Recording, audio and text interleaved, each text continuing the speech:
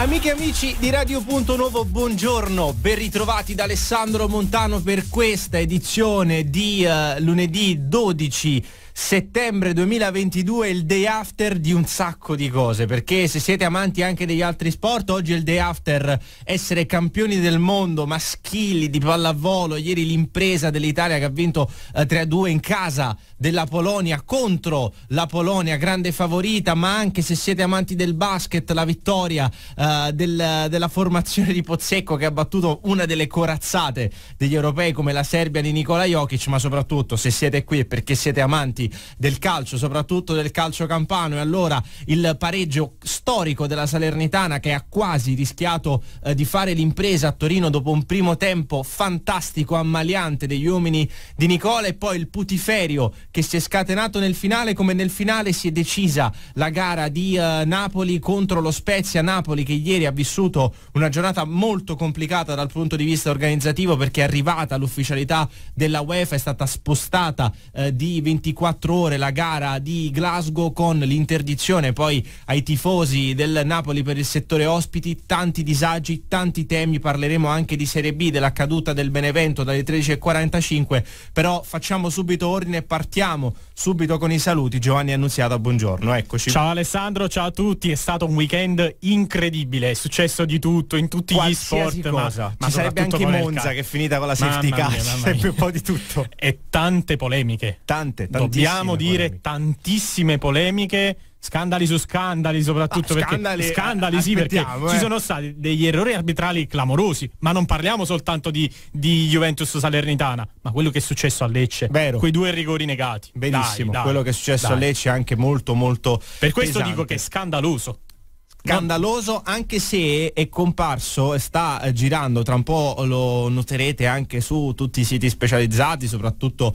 eh, per quanto riguarda quelli campani eh, di un video inedito di un tifoso che era proprio in linea con Candreva al momento del colpo di testa di Milik e per quanto millimetrico impercettibile all'occhio umano però dal fermo immagine il piede di Bonucci appare effettivamente al di là di Candreva. È comprensibile la posizione della Juventus perché si parliamo di una distanza talmente minima che anche se si tracciano le righe col VAR è davvero difficile eh, stabilire tuttora anche l'immagine non è completamente in asse quindi eh, tra in inganno insomma tante cose che eh, però non devono cancellare quella che è stata la grande impresa della Salernitana ieri. Allora noi riapriamo le nostre linee telefoniche ritrovando come le avevamo fatto l'imbocca al lupo venerdì per la gara di Torino il professore Francesco Fimmano, avvocato della Salernitana. Professore, rieccoci, grazie mille davvero per aver accettato nuovamente il nostro invito. Grazie.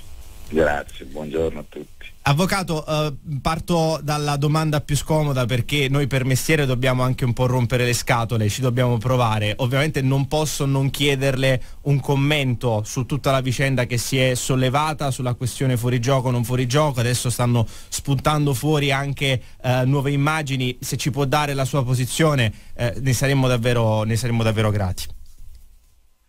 Guarda, i risultati del campo vanno accettati, non entro nel merito di disposizioni tecniche, peraltro molto complesse sul piano regolamentare. Le voglio dire che ieri abbiamo assistito ad un grande spettacolo e credo che questa sia la cosa principale perché eh, il calcio italiano eh, soffre questo problema. Noi eh, come siamo un'impresa di spettacolo, eh, questo è un mondo eh, legato allo spettacolo, alla parte ludica e c'è un fatto su cui sono tutti d'accordo. È stata una serata fantastica per tutti i telespettatori, a prescindere da chi eh, in realtà tifassero.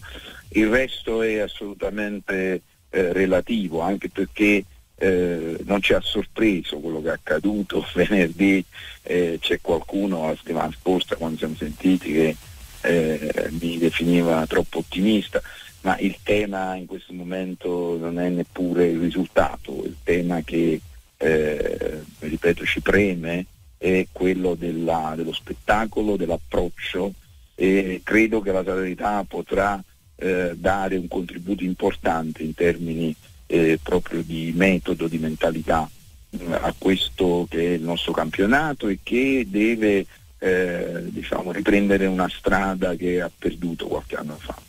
Resta il fatto che la Salernitana abbia fatto la partita in casa della Juve. Avrebbe mai pensato di uscire con del rammanico dall'Allianz Stadium per quanto riguarda il risultato?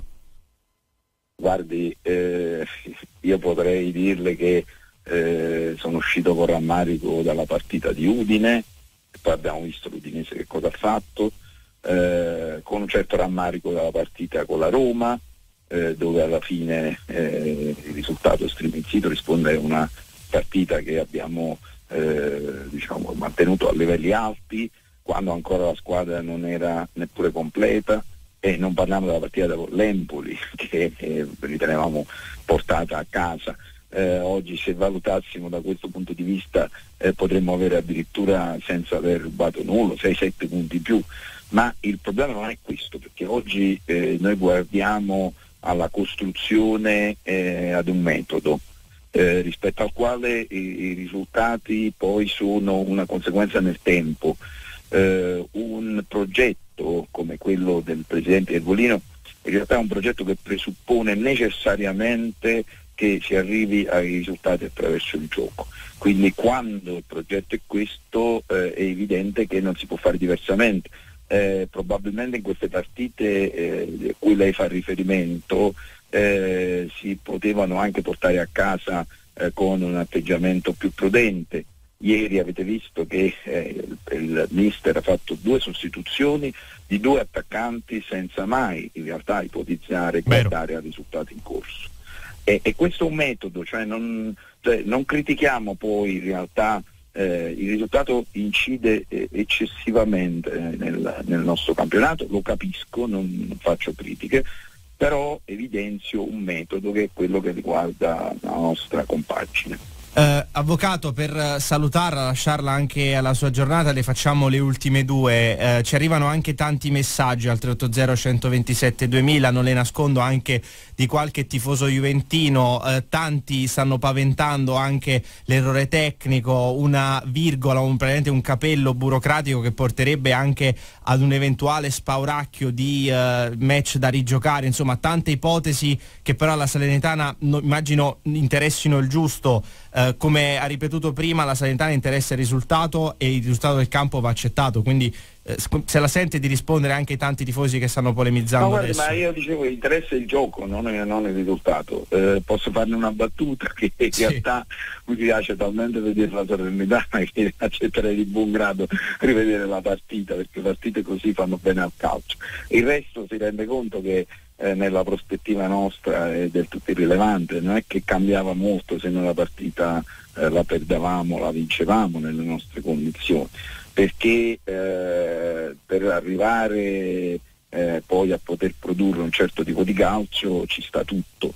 abbiamo visto due belle squadre, due squadre importanti, anche il momento eh, ripeto un po' delicato alla fine ci sta durante il calcio, però poi dopo ho visto grande sportività da parte di tutti. Insomma, eh, le ribadisco, eh, non è che non voglio rispondere eh, su questioni di metri, di centimetri, ma eh, è proprio contrario a quella che è la nostra filosofia, veramente non cambiava nulla, cioè quindi accettiamo tutto, mh, anche le critiche eh, oppure le, le, le, le, voglio dire queste diatribe eh, fanno parte del gioco, potrei risponderle che probabilmente c'era il rigore eh, su, su Piatek nel primo tempo, prima ancora del primo rigore, quindi, ma andiamo in un ambito eh, che finisce col mortificare certo. lo spettacolo straordinario che abbiamo visto e le dico con un entusiasmo complessivo da parte di tutti i tifosi, anche quelli della Juventus, tanti amici della Juventus che in realtà si sono divertiti poi eh, tanto.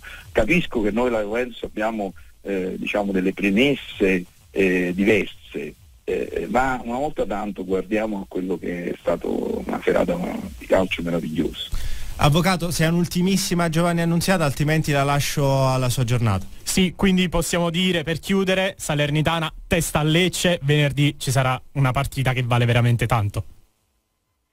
Sì, sì, ma io spero che anche quella sia una partita giocata a viso aperto. Mi pare che il Lecce, nonostante eh, sia una matricola neopromossa, insomma, faccia un buon calcio, quindi eh, l'obiettivo è vedere un grande spettacolo, insomma, vedere gol, vedere eh, la gente che si diverte. E poi le dico la verità, un pensiero va ai nostri meravigliosi tifosi che come detto ieri erano ancora una volta quasi di più eh, di quelli diciamo, avversari. E devo dire da questo punto di vista mi dispiace dei tanti vuoti che mai si verificano nel nostro, nel nostro stadio e probabilmente la prossima volta che arriverà la Salernitana a Torino ci saranno tutti perché eh, in realtà non guarderanno al tema della partita di Castello, al Benfica prossimo, ma guarderanno al divertimento. Penso avvocato, certo, avvocato, in bocca al lupo per tutto, grazie mille ancora grazie. per essere stato Radio Punto Nuovo. Grazie, arrivederci. Grazie mille al professore Francesco Fimmanò, legale della Serenitana, davvero eh, anche molto elegante nelle sue risposte, tante polemiche, eh, al momento c'è anche la posizione forte eh, della Lega che eh, mantiene il punto, mantiene il pallino anche nel difendere questo giovane arbitro Mercenaro che ieri ha dimostrato certo tanta tanta personalità perché poi anche nel finale i tanti rossi, le espulsioni, certo non si è fatto condizionare anche secondo me da quelle che sono state brutte scene perché poi queste cose vanno dette, eh, non è possibile vedere un arbitro richiamato all'on field review quasi bloccato dalla squadra che in quel momento sta subendo la revisione quindi in questo caso la Juventus. È stato accerchiato, è stato quasi impossibilitato ad arrivare a contatto con lo schermo, di lì poi il nervosismo dei giocatori eh, della Salernitana. Ancora non è possibile che nel 2022 non si riesca ancora ad accettare gli episodi arbitrali per quelli che sono. Certo, nel momento in cui viene accertata eh, la posizione regolare di Bonucci, Mercenaro va sospeso così come vanno sospesi tutti gli arbitri che facevano parte dell'equipe arbitrale, ma nel momento in cui le immagini gli danno ragione, l'arbitro in quel momento è intoccabile. Però continuiamo a parlare della questione arbitrale, ma non solo di Juventus Salernitana, ma del rapporto che si sta generando sempre più tra la tecnologia e gli arbitri, quelli intesa, eh, intesi alla vecchia maniera, ne parliamo con un'istituzione dei nostri fischietti, eh, Piero Ceccarini, ex arbitro, grazie mille per essere con noi. Grazie a voi per la chiamata. Eh, signor Ceccarini, ovviamente eh, partiamo da quello che è l'episodio di, di, Torino al netto dei centimetri, non centimetri, eh, ma va fatto un discorso anche di cultura. Dicevo prima, eh, è impossibile vedere un arbitro che viene accerchiato e quasi impossibilitato ad andare all'on field review serve una svolta culturale nel nostro paese, c'è sempre troppa attenzione, sempre troppa pressione su quello che alla fine fa parte del gioco, ovvero l'episodio arbitrale in sé. Eh sì, ma questo, questo esiste ormai da sempre in Italia, per cui a, ad oggi purtroppo eh, non, possiamo, non possiamo meravigliarci, no? perché esisteva, esisteva ai miei tempi, esisteva prima di me e, e, e le cose si sono, hanno proseguito anche in questi ultimi anni nonostante, nonostante che sia stata messa la, la tecnologia, le, gli aiuti e tutto il resto. Viene fuori da, da, da, da una sì, cultura, da, una convinzione forse, da una mentalità che che vede l'arbitro sempre una, come una persona che può essere sempre eh, condizionato, che può sempre essere eh, portato eh, dalla nostra parte. Quindi questo, questo sicuramente sì. Vorrei parlare un po' degli episodi di ieri, in primis ciò che sta facendo discutere veramente tanto, tanto, tanto, il, il fuorigioco fischiato a Bonucci. Adesso, premesso che non abbiamo immagini che ci facciano capire se il giocatore è in linea, non è in linea, eh, questo lo mettiamo da parte. Più che altro mi vorrei soffermare su, eh, diciamo, sull'interpretazione del regolamento. Bonucci non infastidisce il portiere, non interviene direttamente sul pallone, ma quindi l'arbitro in questo caso ha fatto bene a fischiare fuori gioco andando a rivedere oppure interpretazione sbagliata? No, eh, secondo me se, se, non interferisce, se, non interferisce, sul portiere o su altri difensori che, che potrebbero intervenire bisognava lasciarlo bisognava lasciar proseguire l'azione eh, naturalmente quindi è un'interpretazione che l'arbitro dovrebbe dare in campo al di là al di là poi di andarlo a rivedere, poi eh, quindi essere sicuro. Lì è logico che l'arbitro nelle interpretazioni che ha eh, prima cosa deve essere sicuro di quello, di, di quello che vede, di quello che, che, che riesce a, diciamo così, a, a, fare, perché se gli manca la sicurezza, gli mancano le certezze, poi nell'incertezza, anche se va a vedere l'episodio poi uh, al video può, potrebbe o può, o può sbagliare, questo è fuori dubbio. Poi dal punto di vista dell'allineamento, questo secondo me il VAR era nato, è nato, doveva, doveva nascere proprio in funzione per evitare diciamo così, questi episodi. No? Per quanto riguarda il fuorigioco ormai difficilmente ora assistiamo a errori, quindi gli assistenti aspettano sempre ad alzare prima, prima del, del fuorigioco, quindi, quindi il VAR poteva, può servire per questi episodi, quindi vedere l'allineamento, vedere se c'è una differenza di centimetri e, e casomai intervenire. Quest'anno è stato deciso di, di, fa, di, di, far giocare di più, di, di lasciar correre più episodi e di arbitrare diciamo più all'inglese. Ma lei ha riscontrato questo atteggiamento da parte degli arbitri fino ad ora eh, oppure manca ancora qualcosa sotto questo punto di vista e un passo in avanti non è stato fatto? E soprattutto se le piace questo tipo di arbitraggio, chiaramente. No, no diciamo, l'arbitraggio a me piace, io ero uno di quelli che, che fischiava poco um, e che quindi quando si andava all'estero eh, noi, noi arbitri italiani eh, ci divertivamo dal punto di vista strettamente arbitrale, proprio perché eh, lo spirito era quello di, di, di, giocare, di giocare il più possibile. Quindi eh, quest'anno non lo so se, perché non ho, non ho presente, bisognerebbe avere presente tutte queste prime giornate e avere sotto mano diciamo così, tutte le partite per dare un giudizio. Eh, però penso che anche lì eh, il lasciar giocare dipende soprattutto dalla sicurezza e dall'esperienza che un arbitro può avere, eh, quindi questo indubbiamente. Poi è logico che devono partecipare anche le squadre, eh, i calciatori, a, a, a, diciamo così, a accettare, accettare questo stato di cose, perché a volte, soprattutto in Italia, a volte capita che i calciatori delle squadre non accettino il fatto di eh, lasciar giocare, di non fischiare, eh, allora a me, a, a me, me l'ha fischiata e a lui no, insomma si, si, eh, si, si intrecciano un po' tutti questi meccanismi che portano poi a mandare in confusione l'arbitro. Eh, Ceccarini, grazie mille davvero per essere stato con noi a Radio Punto Nuovo. Alla prossima.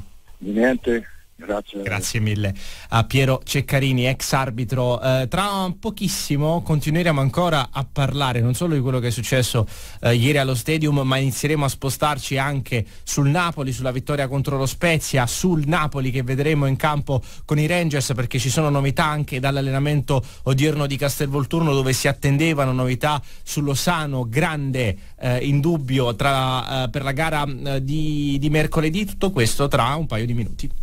Ripartiamo quando sono le 13.22, eh, tra un po' vi daremo anche tutto il programma del Napoli in vista della trasferta eh, di Glasgow. Intanto un'ufficialità abbastanza dolorosa per il Napoli perché Lozano continua a non allenarsi anche oggi out eh, dalla seduta azzurra, eh, sindrome influenzale eh, molto acuta per il messicano che a questo punto è a serissimo rischio di poter saltare la gara gara di mercoledì in Champions contro i Glasgow Rangers. Quindi eh, Lozano out per sindrome influenzale, anche se dovesse essere recuperato nella giornata di domani sarebbe comunque un recupero a mezzo servizio, quindi diciamo che Politano va tranquillamente verso un'altra titolarità con la maglia del Napoli. Continuiamo a parlare di azzurri e non solo, lo facciamo con uh, il direttore Paolo De Paolo. Direttore, grazie mille per essere con noi. Grazie a voi. Uh, impossibile, eh, direttore, non partire da quello che abbiamo visto ieri a Torino. Un suo commento prima poi di spostarci anche su altri temi legati al Napoli. Beh, la, prima, la prima riflessione è che sicuramente la Juventus eh, si sta nascondendo dietro un dito per non mettere sotto accusa il personaggio principale di questa vicenda, cioè Allegri. La Juventus è stata indecente come squadra, ha proposto un gioco indecente e avrebbe meritato ampiamente di perdere.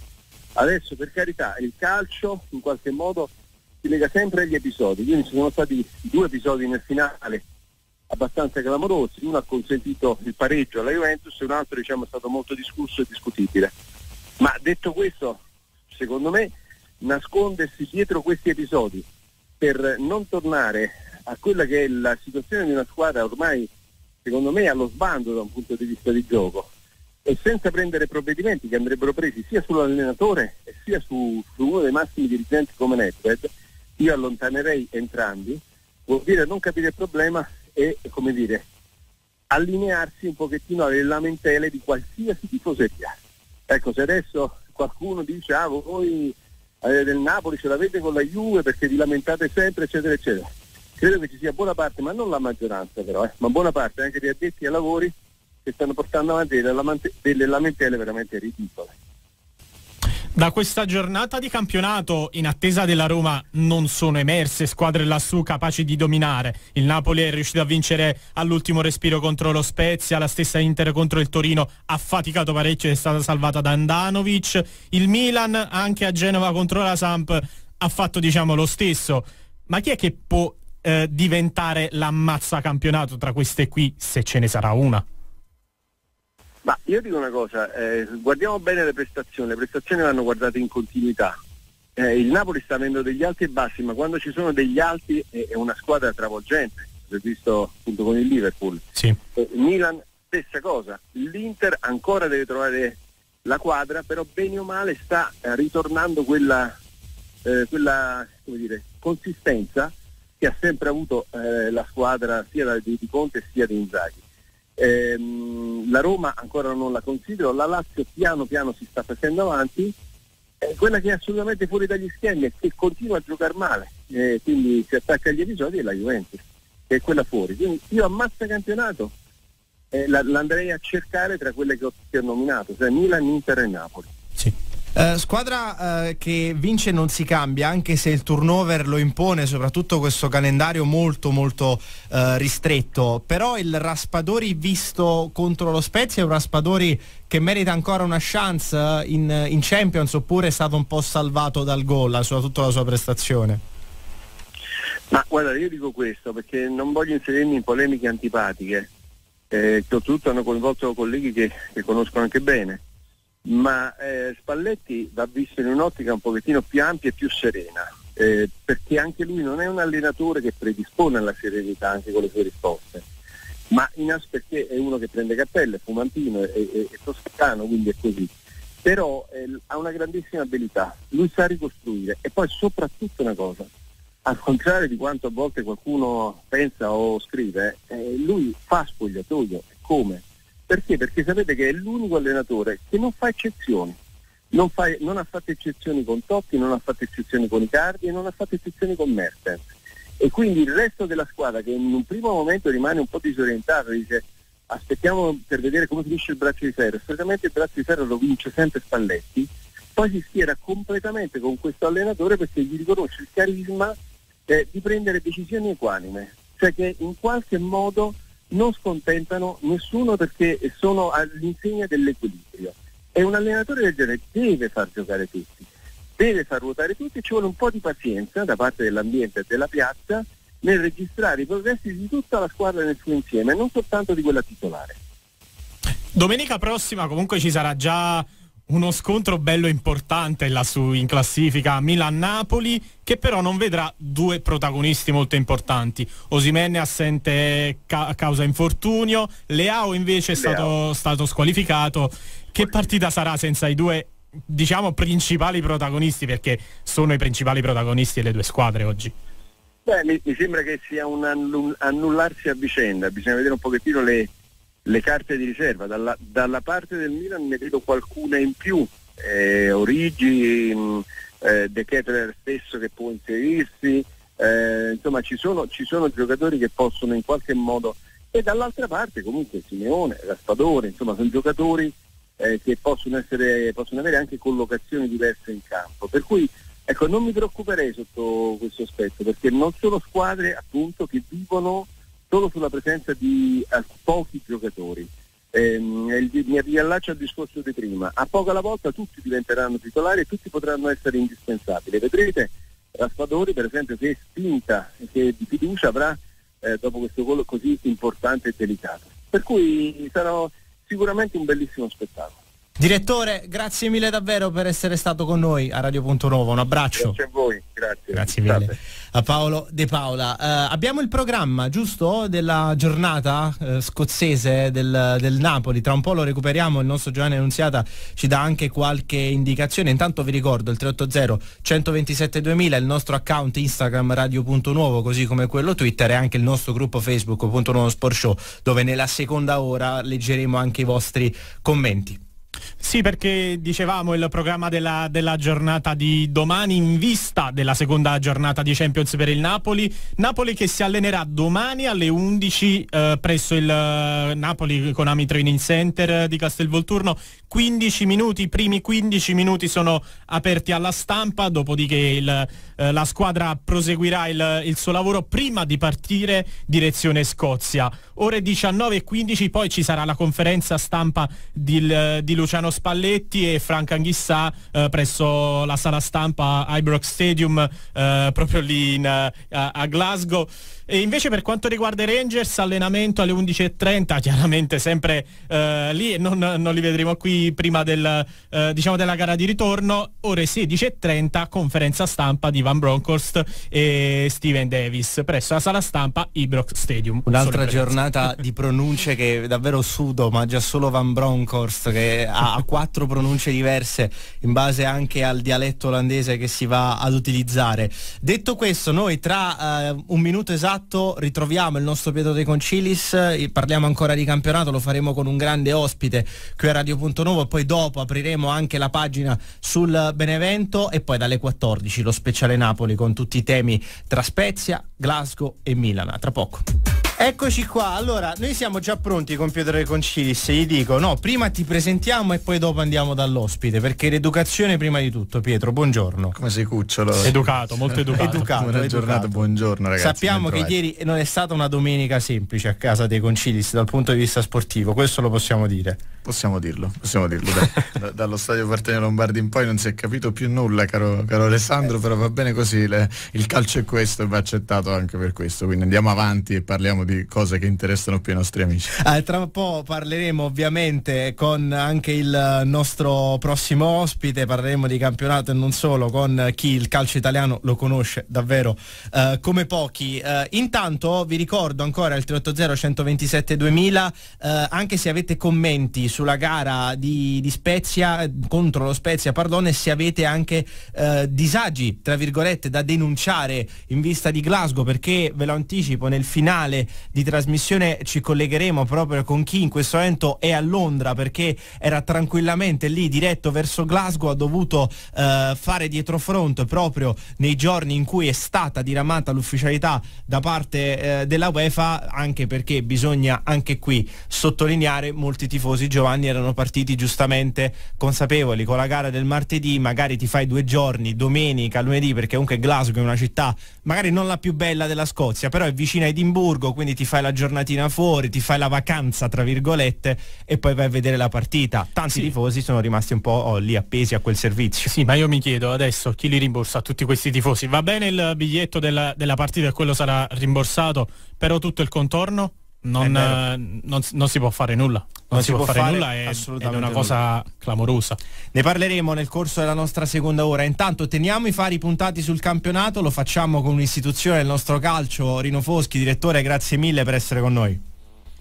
A voi, buongiorno a tutti. Eh, direttore, ieri abbiamo visto qualcosa di assolutamente singolare, ovvero il finale di gara di, di Salerno, poi ci spostiamo anche sul Napoli e sulle altre big però immagino che nel corso della sua vita sportiva un, un, episodio del genere di recente lo aveva mai testimoniato, sarebbe qualcosa di, di assurdo, soprattutto in epoca VAR.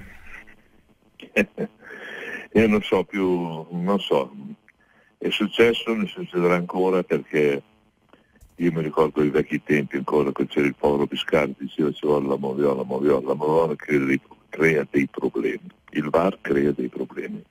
O lo usiamo come dobbiamo usarlo o smettiamo. Di farci adesso ormai smettere non si può più perché è diventata una cosa europea, però bisogna saper usare e usarlo meglio. O cambiare, cambiamo qualcosa, cambiamo qualcosa perché crea di questi problemi qui.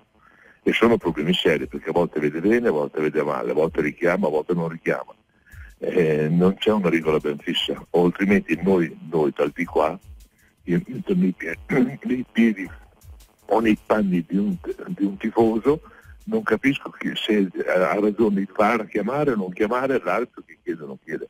Non, non, hanno mai spiegato, spiegano in un certo modo, e poi con più spieghi e più sbagliano, o più fanno in un altro modo. Quindi Ieri sera la Juventus, per riportare il discorso di sera della Juventus, che la Serenitana si è guadagnato un risultato importante perché la Serenitana sta facendo molto molto bene, però gli episodi danno un po' del discontento e qualche critica c'è stata alla fine oggi sui giornali si è detto, si è detto quando fai ti succede Salerno con eh, il Lecce ha un'altra risonanza. Salerno a Torino che succede queste cose qui in caso della Juventus che voi sapete bene la Juventus è diverso e dopo eh, comunque eh, scriviamo si legge scrivete e tutto, è tutto brodo tutto qua Direttore, ma non sarebbe più comodo ascoltare in presa diretta tutto l'audio eh, nei dialoghi degli arbitri e parlare con i diretti interessati a fine gara, intervistarli proprio per una maggiore chiarezza, per una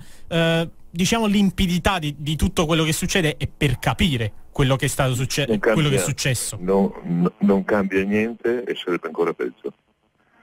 E sarebbe ancora peggio, non cambia niente. Voi pensate che uno da casa davanti alla televisore senti il dialogo del VAR e l'altro. Sei sicuro? No, non sono sicuro. Vai a vedere, no, vai a vedere uno indeciso ha visto o non ha visto una cosa.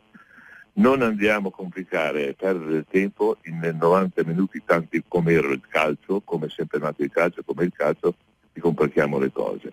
Io dico che bisogna mettere certe regole, il FAR va chiamato quando è il momento, se lo chiamo una sorta di challenge.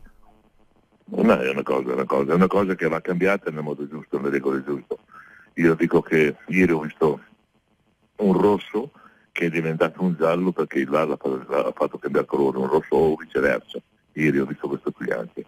E non esiste, non esiste perché l'arbitro in campo è uno, chi dirige è quello che è in campo, non quello che è al VAR. Al limite quello del VAR le corregge un qualcosa se non ha visto bene o chiede lui come sta questa situazione, specialmente in un fuorigioco, che è una cosa importante, eccetera, eccetera. Un fallo di mano evidente che sì. non ha visto, che è coperto e allora poi ci può stare, ma le altre cose c'è un'esagerazione e non si capisce più niente, un, un, sembra che ci sia un'arroganza dalla parte e dall'altra parte rispetto a quello che è in campo. E la figura chi la fa la figura brutta? Chi è, chi è più credibile? Chi è meno credibile? Non si capisce. Il, il, calcio, non, il calcio era bello anche con un. Era bello fino a un certo punto, apro e chiudo parentesi, era bello anche vincendo una partita con un errore dell'arbitro per dire che era una cosa che non, non si deve ripetere, però c'erano queste cose qui ancora. Um, tanto, tanto, poco tempo fa, non tanto tempo fa. Sì, direttore, e faccio fatica a rispondere. Sì, Io non, certo. sono, non, non, sono, mai stato favorevole al VAR eh, usato in un certo modo, quindi sta parlando con uno dei, dei lavori che non, non, credo molto al VAR usato in questo modo qui. Poi viene difeso in televisione, viene chiacchierato, sono dei lavori, arbitri in pensione che parlano, eh, ognuno dice la sua e ognuno ha i suoi interessi per parlare e sta un po' sgretolando l'amore per il calcio, ve lo dico, sta leggermente sgretolando l'amore per il calcio soprattutto al momento del gol. Aggiungerei, direttore, però visto che, sì. come diceva bene lei, eh, non dobbiamo complicarci la vita, continuiamo a parlare di mm. calcio giocato, perché è andata in archivio sì, bravo, anche la sesta bravo, giornata bravo. Del, del, campionato di Serie A. Allora le chiedo, eh, tra sabato e domenica abbiamo assistito a dei risultati e delle prestazioni un po' particolari, perché se la Juve non ha vinto con la Salernitana, una partita eh, sulla carta alla portata, invece Napoli e Inter, soffrendo e faticando, hanno vinto questo tipo di partite di misura. Il Milan ha fatto lo stesso a Marassi contro la Sampdoria, questo cosa vuol dire? Che segnale è per il campionato secondo lei? È un segnale positivo per quello che concerne lo spettacolo e per quello che concerne i tifosi. Non dimenticatevi che quattro anni fa c'era una squadra che vinceva, la seconda aveva 20 punti di stacco, addirittura la terza ne aveva 30, però se non sono quelli sono 15-20, sbaglio di poco.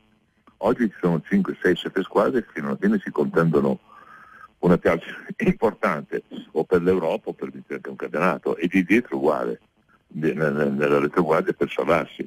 Quindi vuol dire che sono cresciuti i, i discorsi del, degli incontri de, de, delle squadre che si sono abbastanza equilibrate e, è tutto a favore dello spettacolo e del calcio. Sicuramente, sicuramente non è più come amore e come tutto il resto quel calcio degli anni dei Frezzoli, dei Ferraino eh, tutti questi presidenti che avevano la passione e ne mettevano. Adesso è tutto un interesse particolare, operazioni particolari, plus meno valenze, eccetera, eccetera, eccetera, bilanci eh, e, e, tutto il resto che però è così. Però è, è diventato un po' più equilibrato, interessi molto importanti fare degli stati, interessi, è cambiato, è cambiato molto, signori, è cambiato molto, però il calcio, se togli il calcio alla gente, all'Italia, all'Europa, se il calcio non, non, esiste. E quindi bisogna anche eh, accontentarci di quello che succede e cercare di smusare, di, di cercare di far rendere meno grave l'errore che può fare un arbitro o il VAR. Direttore, come sempre, grazie mille per essere stato con noi a Radio Punto Nuovo, in bocca al lupo per tutto. Mm.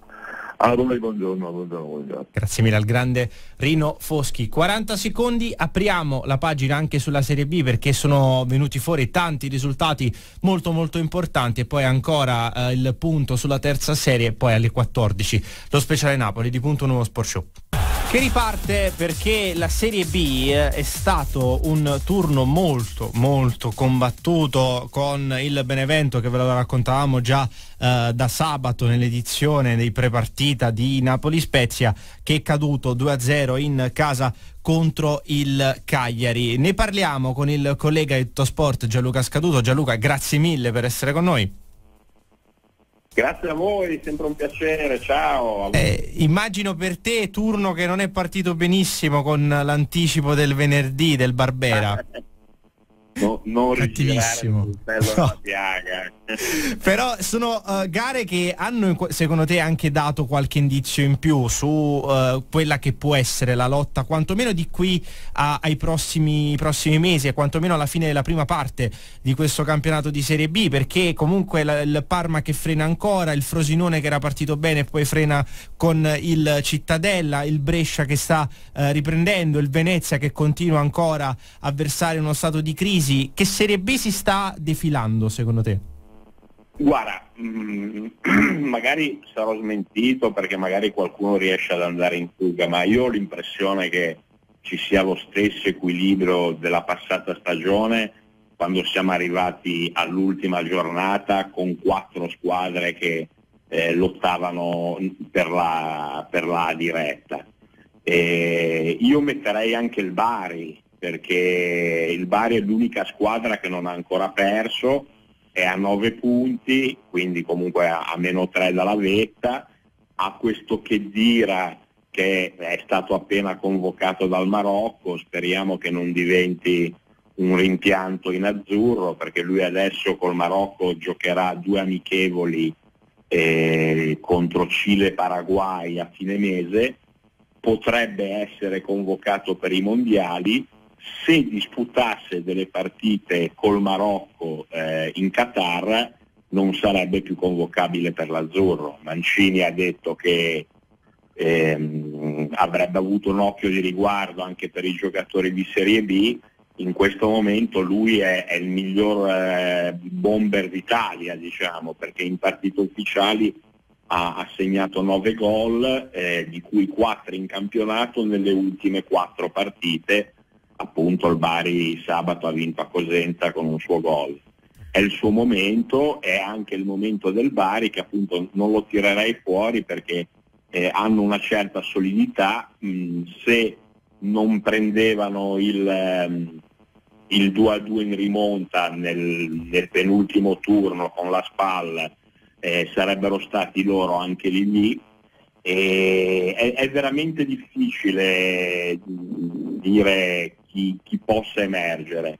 E il mio Genoa, ahimè, è una squadra l'ho seguito attentamente venerdì sera, mm, sulla carta è sicuramente la squadra più forte, perché se guardiamo solo gli ultimi acquisti, che probabilmente sono ancora un po' indietro di forma, Strotzman, eh, Puskas e Aramu, eh, uniti al telaio che c'era già, era una squadra che, che dovrebbe essere a livello di Regina e Brescia.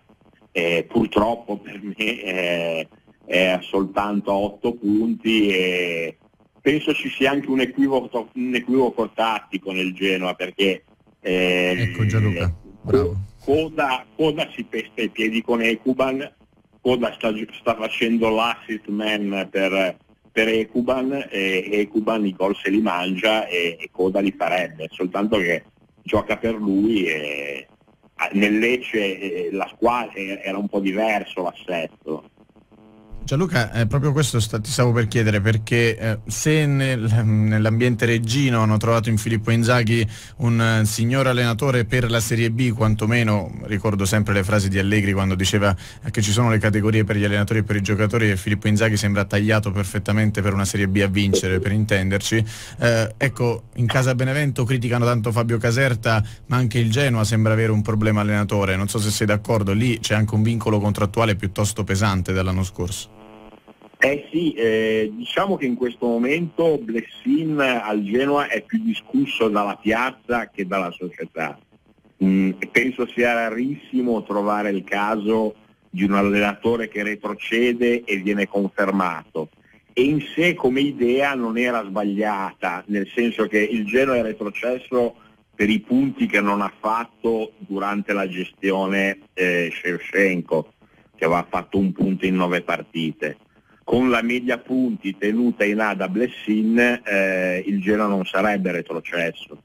Eh, è un allenatore con questo gag pressing che ha, dà un'inquadratura, poi però la B bisogna conoscerla. Ecco. Io eh, a Palermo sicuramente hanno fatto una partita, mh, come dicevo prima, un po' troppo presuntuosa eh, hanno avuto le loro occasioni, potevano pareggiare, forse anche vincere, però ci sta che, che abbiano perso, anche perché ha fatto bene Corini a insistere sui nuovi acquisti che venivano da due sconfitte di fila e che però alla lunga si sono, si sono dimostrati poter dare quel, quel, di più che serve al Palermo. Adesso nel Palermo ci sono due, massimo tre giocatori del, della promozione e tutti gli altri è gente da, da, da, alta Serie B se non da Serie A. Saric doveva andare in A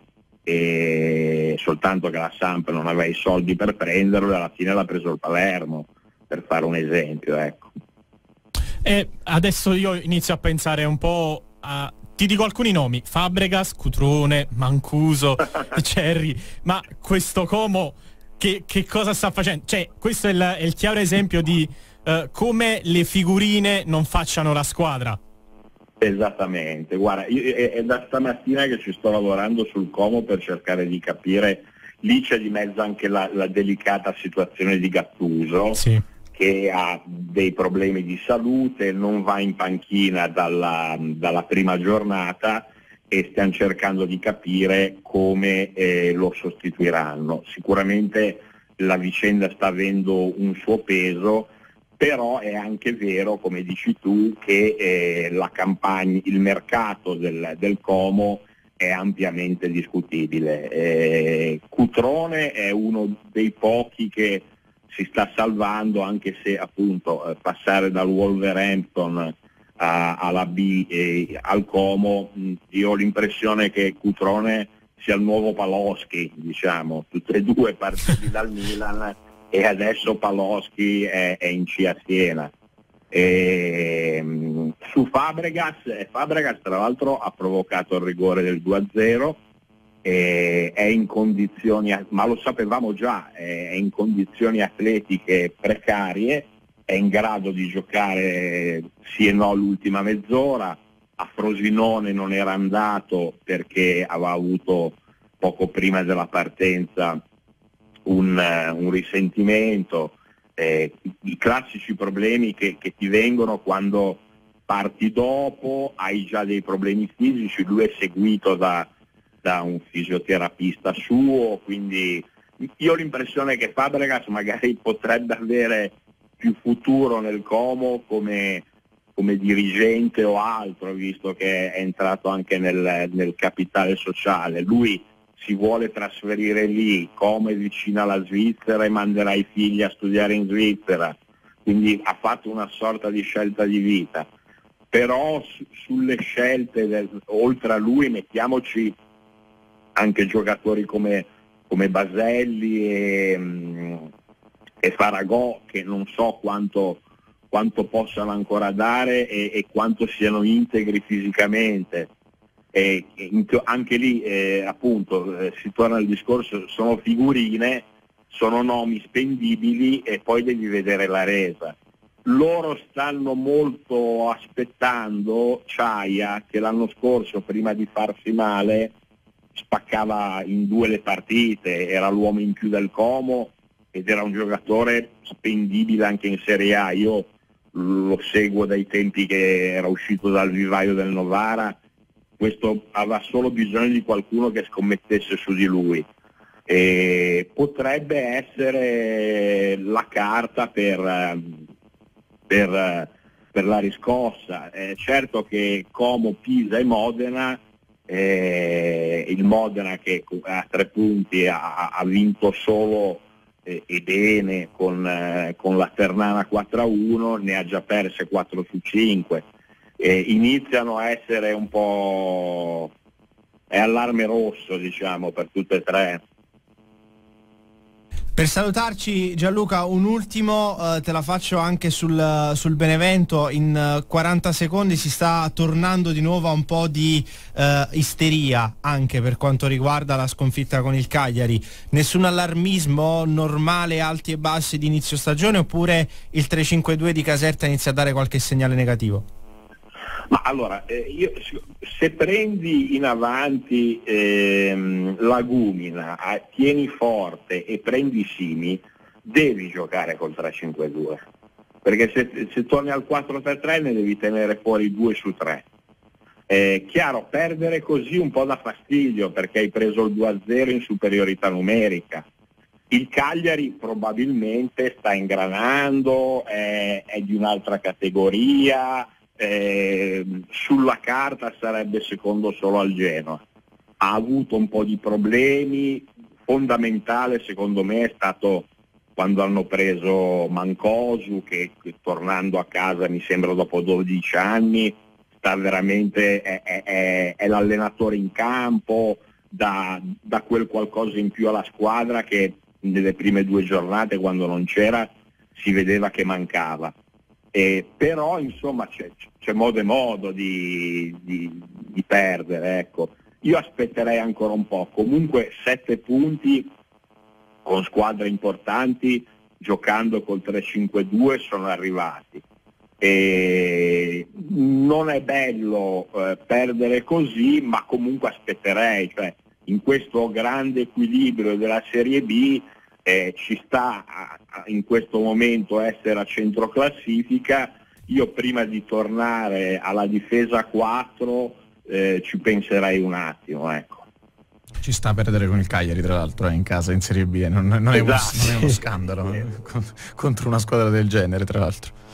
Gianluca, grazie come sempre per essere stato con noi, è stato sempre un piacere. Grazie a voi, è sempre un piacere, un abbraccio, ciao. Grazie mille a Gianluca eh, scaduto. Uh, Pietro, abbiamo dei contributi da sentire, allora ti faccio fare gli onori di casa anche a distanza, prego. Sì, perché abbiamo gli onori di, a distanza per Pasquale Padalino, allenatore della Turris, perché ribadendo un po' i risultati delle campane di ieri, eh, fra poco andremo a parlare anche di Avelino, ovviamente al pomeriggio da supereroi, la Turris eh, ha sfatato un tabù battendo la Juve Stabia al Romeo 20 di Castellammare di Stabia, ovviamente una vittoria che mister Pasquale Padalino ha voluto dedicare ai tifosi corallini che non erano presenti nella Tana delle Vespe, l'Avellino ha impattato 0-0 con la Gelbison, prima sconfitta anche per il Giuliano di Napoli all'Audace Cerignola, ma parlavamo di Turris e allora direi che è il momento di andare a sentire cosa ha detto mister Pasquale Padalino in conferenza stampa, ovviamente molto molto soddisfatto. Questa vittoria eh, ovviamente la voglio dedicare a coloro che non erano presenti e a tutta la città e anche alla società che comunque mi ha dato fiducia e la possibilità di lavorare partendo tra virgolette dall'inizio e, ed è una bella soddisfazione. Ci dà la consapevolezza che abbiamo una squadra che può dire la sua in questo campionato, ovviamente non è un risultato che cambia quelli che sono diciamo così, gli obiettivi perché non dobbiamo assolutamente montarci la testa, perché se fosse sempre così sarebbe bellissimo, però sa- sappiamo, so che andremo incontro a delle difficoltà, però dobbiamo essere bravi non, eh, e lucidi a non smarrire diciamo, la strada che abbiamo appena iniziato insieme. Quindi consapevolezza, contenti, però tra tre giorni c'è già un'altra gara e dobbiamo essere già proiettati a quella. Così, mister Pasquale Padalino, ovviamente molto soddisfatto, lui grande ex della partita, tra l'altro parole al miele anche per la Juve Stabia che non deve lasciarsi condizionare da questo eh, risultato. Ragazzi, credo che sia stata una seconda giornata di Serie C piuttosto interessante, non, eh, direi. non per l'Avellino, ma no, per infatti. il fatto che cominciano a correre e molto anche le due calabresi lì davanti. Io immagino Catan... avete preparato una scaletta oggi anche un po' per rispondere alle tante domande che eh, al 380 127 2000 il numero è congiunto quindi leggiamo anche eh, noi tanti messaggi che arrivano. Immagino che avete tante risposte con Dino, insomma eh, sarà un lunedì bello pieno. Un lunedì molto ricco, tra l'altro i messaggi che già arrivano ovviamente anche dal post partita della giornata di ieri, molto molto caldo, tanta delusione ovviamente per aver regalato il primo punto tra i professionisti alla Gelbison che ha fatto una signora partita, eh, lo abbiamo raccontato tramite la voce di Dino Manganiello anche nella provincia di Salerno proprio per i tifosi della Gelbison che anche ieri sono giunti eh, numerosi, un centinaio al Partenio Lombardi, si sono fatti sentire insomma una bella giornata di sport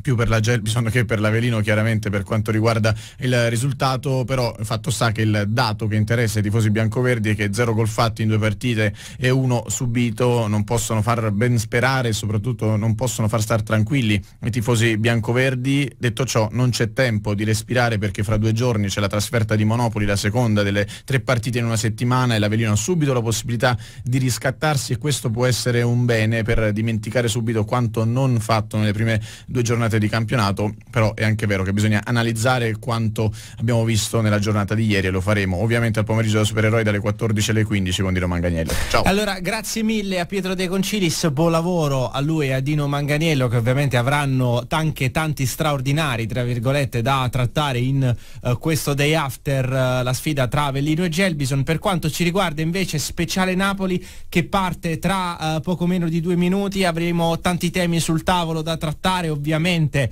la questione Rangers Napoli perché apriremo ancora una volta i fari sulla questione tifosi, tanti napoletani che sono stati costretti a fare dietro fronte, sono anche situazioni complicate, non vi nascondiamo che abbiamo provato anche ad interpellare quelle che sono le istituzioni eh, britanniche sia sul suolo italiano sia eh, quelle italiane sul suolo eh, britannico, quindi eh, abbiamo cercato davvero di contattare un po' la qualunque, ma ovviamente il protocollo per il lutto nazionale legato alla scomparsa di Regina Isabetta è molto ferro e quindi dovremo attendere ancora un po' per sentire i protagonisti. Eh, tra qualche minuto però speciale Napoli col sottoscritto con Giovanni Annunziata, vi aspettiamo. Che riparte quando sono le 14.01 lo speciale Napoli di Punto Nuovo Sport Show eh, che parte sempre col sottoscritto con Alessandro Montano, con Giovanni Annunziata, tra un po' con i vostri commenti al 380 127 2000, con tutte le vostre curiosità sia al nostro account Instagram sia al nostro account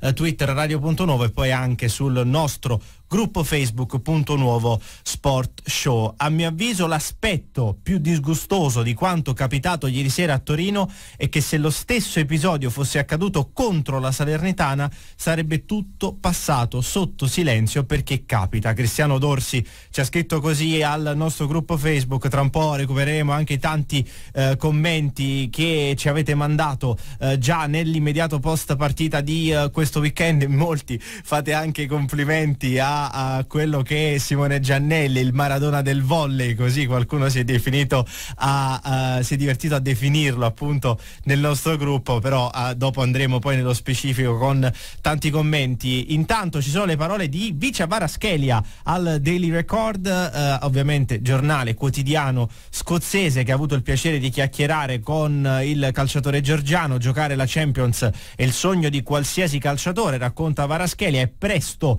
per dire dove possiamo arrivare nel girone, ma certo che diremo la nostra. Siamo molto contenti di aver battuto uno dei club più prestigiosi d'Europa come il Liverpool, ma fa già parte del passato. Adesso tocca pensare alla gara di Glasgow, non sarà un match facile perché loro giocheranno davanti al loro pubblico, sappiamo dell'atmosfera elettrica magica che si respira su quel campo, spingeranno molto per portare a casa un buon risultato, ma confidiamo in noi stessi nel poter andare a fare il risultato anche lì. Ciccio Marolda, buongiorno, grazie mille per essere con noi.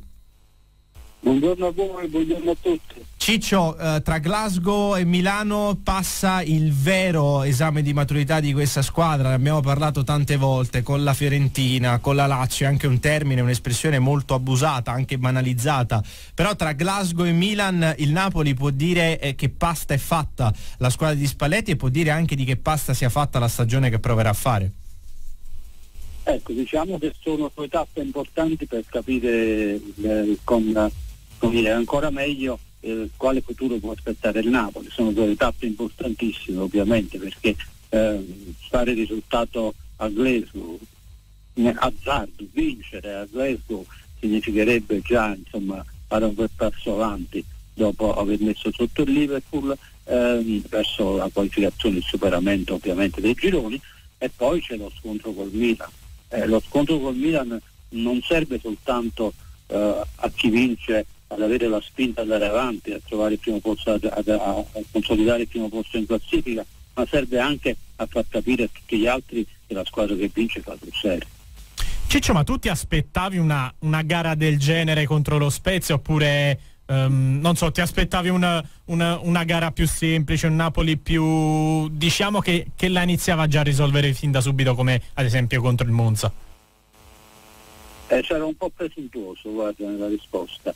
Letta la formazione me l'aspettavo qualche difficoltà, ti dico la verità, perché il Napoli si è dato ormai una, una fisionomia, il Napoli mh, eh, sembra tutto dico, ma ha una formazione non base, una formazione tipo sulla quale può agire un poco all'inizio, proprio quello che serve, che è indispensabile all'inizio e poi può fare quello che vuole con i cinque cambi. Eh, provare a rivoluzionare l'assetto eh, felice che si è dato eh, invece del Napoli facendo eh, 4-5 cambi tutti assieme e affidandosi a giocatori che non sono neanche nella migliore condizione atletica significa, significa soffrire perché oggi tu contro qualsiasi squadra, non esiste grande, piccola, media, se regali qualche uomo e se giochi sotto ritmo come ha giocato il Napoli significa che vai incontro a sofferenza. Anche perché si sono visti un paio di calciatori ancora in difficoltà, però va fatta anche la tara, Ciccio, con un calendario che un po' ti obbliga al turnover. Eh, mi dai un tuo giudizio sulla prestazione di Ndombele e sulla prestazione di Raspadori fino al momento del gol? Allora, abbiamo diverse letture di questa, di questa partita. Possiamo dire che quando vince hai ragione e se poi vinci tenendo in campo un giocatore che è stato se non il peggiore, insomma tra i peggiori in campo, mi riferisco a Raspadori, e questo giocatore ti fa vincere pure, allora sei un mostro di bravura, no? Perché nel calcio se vinci sei bravo. E questa è la lettura diciamo eh, più semplice. Eh, poi ce n'è anche un'altra, è ancora più semplice. Il Care Napoli ti è andato molto bene. Perché immaginate Raspadori, se, se, se, già Gaetano eh, non, non liscia quel pallone, no? eh, eh, Raspadori non mette in porta quel pallone a fil di palo, adesso staremmo discutendo di ben altre cose, cioè della sindrome delle, delle squadre piccole, eh, dei, dei, cambi di Spalletti, delle, e quindi il calcio è fatto così, insomma. quindi bisogna essere sereni, però senza nascondersi che questo Napoli ha una formazione tipo e deve andare avanti con quello quanto più possibile. Poi ci stanno le soste, a novembre si ferma tutto, eh, sono ragazzi che hanno voglia di giocare hanno il fiato per farlo, quindi andiamo avanti fino a novembre, facciamo punti il più possibile, perché poi comincerà un altro campionato punti a capo. Eh. Adesso testa la Champions chiaramente. No, scusa, vai, vai, vai, vai concludi. Sì, di Ndombele, prego. Eh, chiesto di Ndombele, non voglio sfuggire alla tua domanda. Certo. Ndombele è un gran bel giocatore, però è un giocatore che deve, eh, deve fondare il suo calcio su una straordinaria condizione atletica allora tu dove lo metti lo metti, vedi che a un certo punto piglia palla, fa degli strappi bellissimi, se ne va avanti, che partecipa al gioco, che lo apre il gioco non abbiamo visto nulla di tutto questo, non solo, ma nel primo tempo lui ha toccato 24 palloni e nessuno di questi palloni è stato un pallone illuminante per la squadra. Mentre invece quando è entrato lo Botta, che è il giocatore, uno dei giocatori più in forma e insostituibili in questo momento nel Napoli, eh, lo Botta che hanno giocato più del doppio, l'apertura lontano per il gol è stata sua, ha dato più ritmo, ha dato più verticalità, più, più dinamismo alla squadra. Mi rendo conto che non può giocare sempre, però deve essere sostituito da chi è in grado di correre. Ma possiamo dire che questo Napoli è Lobotka dipendente? No, questo Napoli è dipendente, eh, con merito a Spalletti, da, dal gioco che riesce a fare. Perché il, il, vero valore aggiunto di questo Napoli, il vero leader di questo Napoli è il gioco. Un gioco affidato a gente che, che, che riesce a farlo. Eh, quindi merito a Spalletti per quello che, che, ha fatto mettendo insieme una squadra di non grandi campioni ma di gente eh, che corre, che fa quello che dice lui eh, demerito a Spalletti quando poi è un po' testardo e insiste che i giocatori ancora non nella condizione migliore per farlo. Uh, ovviamente ci sono tanti disagi per la trasferta di Glasgow, noi tra un po' apriremo anche una pagina importante con uh, la nostra scaletta. Impossibile prima di salutarti non chiederti un commento anche uh, da, da, tifoso del Napoli, da persona che segue questa squadra da tantissimo tempo e forse è stato, va bene, c'è la straordinarietà dell'evento storico, questo è chiaro, certo. però l'interdizione del, del pubblico, i tanti disagi è qualcosa che magari macchia un po' anche quella che è stata la logistica, la gestione di una trasferta del genere? Beh, purtroppo è capitato un evento davvero che non, non si poteva prevedere soprattutto un evento che coinvolge tutto quel paese, insomma. quindi eh, di questo bisogna tener conto. È vero anche che non capisco perché poi eh, 24 ore di ritardo, 24 ore di, di, di dittamento della, de, della partita.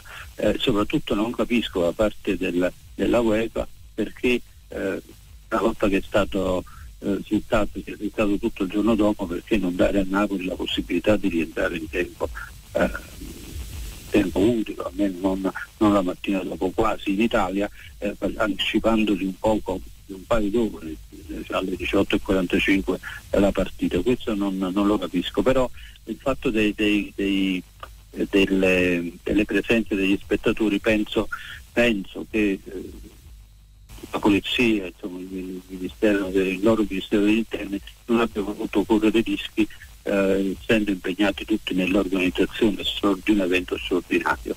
Eh, si, poteva, si, poteva, gestire meglio sicuramente, però insomma, anche se non sono d'accordo, però eh, comprendo i motivi che sono alla base di queste decisioni. Ciccio, grazie mille davvero per essere stato con noi a Radio Punto Nuovo. Grazie a voi ragazzi. Buon Alla prossima, al grande Ciccio Marolda. Eh, tra un po' apriremo appunto una pagina importante sulla questione Glasgow, anche perché eh, in tanti tifosi continuate in molti ancora a scriverci, chi di voi ha dovuto anche eh, fare dietro fronte praticamente a partenza eh, già avvenuta eh, è qualcosa anche di molto scomodo, sono anche periodi molto complicati eh, e sono, parliamo anche chiaramente, sono zone anche d'Europa, eh, per quanto ormai non facciano più parte a livello politico con la Brexit e tutto, però sono anche zone un po' scomode dal punto di vista del costo da raggiungere, non sono certo eh, mete low cost da poter così anche darsi un pizzico sullo stomaco per un tifoso, per un tifoso medio, per chi magari ha eh, magari mh, appunto organizzato eh, questa trasferta con la famiglia al seguito, non è qualcosa di semplice da annullare e da eh, digerire, quindi è anche giusto poi seguire e tenere i fari puntati, anche il Codacons se ne sta occupando, come hanno eh, giustamente interpellato gli amici di Calcio Napoli 24, il presidente eh, Rienzi che appunto ha spiegato e spiega tutte le modalità su come eh, poter in qualche modo provare a recuperare questi, mh, questi, soldi appunto della trasferta saltata. Noi ne parliamo ed è un piacere farlo eh, con un grande, grandissimo tifoso del Napoli, forse riduttivo, onorevole Gaetano Guagliariello, presidente club parlamentare Napoli, grazie mille per essere con noi. Grazie a voi per l'invito. Eh, stavamo discutendo anche con il collega eh, Ciccio Marolda sulla straordinarietà dell'evento storico che ovviamente è occorso in Gran Bretagna, ma anche dei tanti disagi che ne sono nati, come si può trovare una sintesi eh, dal punto di vista anche delle amministrazioni, delle istituzioni, dal punto di vista anche diplomatico nel gestire così tanti eventi e cercare anche di non scontentare i tifosi del Napoli, tanti tifosi del Napoli che non solo dall'Italia ma anche dal resto d'Europa si erano mossi per raggiungere Glasgow? Eh, guardi, la, la, morte della regina oggettivamente è una cosa che eh, insomma nessuno poteva eh, immaginare ed è, eh, come lei dice, un evento mondiale perché stiamo parlando forse della persona eh, che ha più segnato il secolo scorso e l'inizio di questo, di questo secolo. Eh, detto questo, io credo che eh, quello che, stia, che, sta creando veramente delle difficoltà, che la società dovrebbe tenerne conto per il possibile, perché è il combinato disposto tra questo evento e la chiusura eh, a, a delle, degli spazi agli ospiti. Questo eh, evidentemente eh, ha eh, creato una, una, fortissima, una fortissima difficoltà. Eh, in questi casi, visti anche i tempi, trovare delle soluzioni diciamo, che riescono a risolvere eh, completamente il problema è molto difficile. Quello che si deve cercare di fare è applicarsi sui differenti casi e di volta in volta cercare di comprendere se c'è eh, una possibilità che in alcuni casi può essere appunto un eh, ristoro, e questo è stato già previsto, di quello che è stato speso, ma in altri casi non può essere questo perché eh, a me risulta, credo anche a voi, di eh, tifosi che sono già lì e che hanno affrontato le spese sì, assolutamente. eccetera. E, e, e, questi evidentemente sono i casi più difficili. Comunque ci stiamo provando in tutti i modi. E chiaramente è accaduto un evento mondiale come quello della, della morte della regina, però comunque questa partita è stata spostata di, di sole 24 ore, ma che cosa cambiano 24 ore? No, sa, lì eh, in questi casi ci sono dei protocolli molto stretti. Eh, voi sapete mh, mm, meglio di me che eh, eh insomma eh, eh, la regina era il capo di uno Stato nel quale confluiscono quattro nazioni e sapete anche che in particolare la Scozia è stata diciamo, anche protagonista di richieste di indipendenza che sono insomma, state rigettate eh, non eh, diciamo, a furore di popolo eh, e quindi insomma, gli, in questo caso gli equilibri sono veramente equilibri eh, incredibilmente fragili di cui bisogna tener conto. Non è un caso che insomma, la morte di un sovrano eh, nel Regno Unito eh, è programmata da un protocollo segreto che è, è approvato precedentemente eh, e che eh, evidentemente poi entra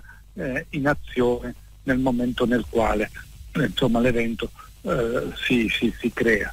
Quindi insomma, è, è difficile ora stare a, a questionare sulle, sulle, 24 ore. Eh, io penso che il problema però è quello di dare la possibilità a chi sta lì di vedere la partita, anche se con 24 ore di ritardo, magari eh, appunto tener conto eh, del fatto eh, che stia lì e cercare di aiutarlo rispetto alle spese sostenute.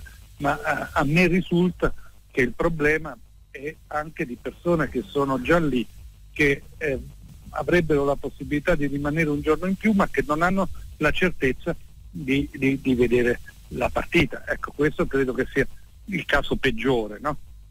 Lei prima accennava, onorevole, ci stiamo provando in tutti i modi. In che senso? Con quale modalità? Anche attraverso l'impegno Club Parlamentare Napoli, lei anche attraverso il suo uh, lavoro in, uh, in, Parlamento non, sì, ha mai provato, parlato, non ha mai nascosto un grande parlato, impegno, mettiamola così. Sì, abbiamo parlato, diciamo così, con, in alcuni casi appunto uh, con le nostre autorità diplomatiche perché potessero aiutare alcune situazioni e in altri casi abbiamo cercato di risolvere, insomma stiamo cercando anzi perché, eh, di risolvere il problema di alcuni tifosi eh, mettendoli in grado comunque nelle condizioni date, nei modi possibili, di poter assistere all'incontro.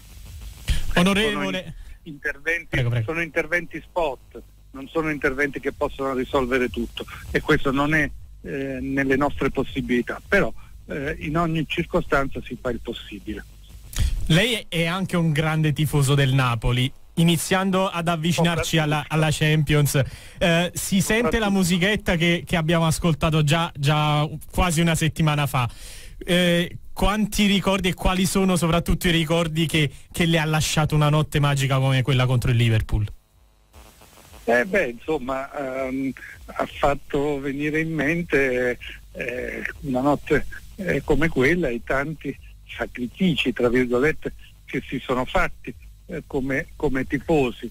Eh, noi appunto abbiamo seguito la squadra anche quando era in Serie C eh, e, e, e, magari appunto uno ricorda anche tante trasferte nelle quali la squadra non è andata bene, ricordavo appunto, eh, se devo dire, visto eh, eh, la squadra con la quale ci siamo battuti, ricordo quella partita col Chelsea, allenatore Mazzari, Mazzarri nella quale avevamo vinto in, all'andata 3 a 1 eh, e eh, io ero a Chelsea, eh, alla fine del primo tempo segnò Hill e sembrò l'1-1 che eh, la qualificazione fosse a un passo, poi perdemmo ai tempi supplementari. Ecco, fu una grande amarezza essere arrivati fino a lì eh, e tra le altre cose all'andata eh, ci fu un gol eh, di maggio che non entrò per pochissimo, che ci avrebbe messo in una condizione di assoluta sicurezza, è una partita come quella del Liverpool, per esempio, ti ha ripagato di quell'amarezza.